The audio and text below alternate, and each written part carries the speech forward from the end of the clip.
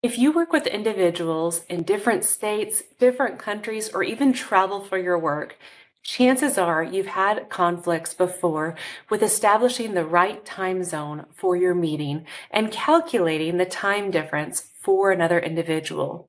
There's an easy way to adjust your time zones in Outlook and to make sure that you're setting up the correct time for everyone involved.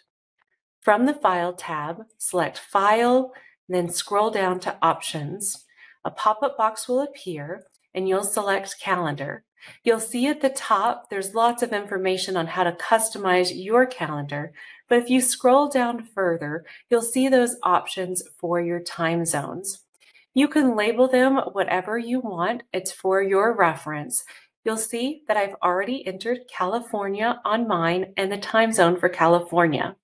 If I was traveling there, I could select the swap time zones and it's going to adjust it to that time. Or I could swap back if I returned home and be back to my time here. Let's go ahead and select OK, and I'll show you where you can preview it on your calendar.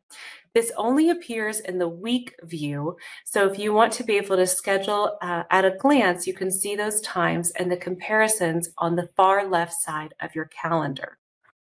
In addition, if you're scheduling a meeting and want to check those time zones, from the new meeting, you're able to select that small toggle to select the time zones of where you want that time zone to be um, for the recipient receiving your calendar request. I hope that helps. Happy travels or happy meetings.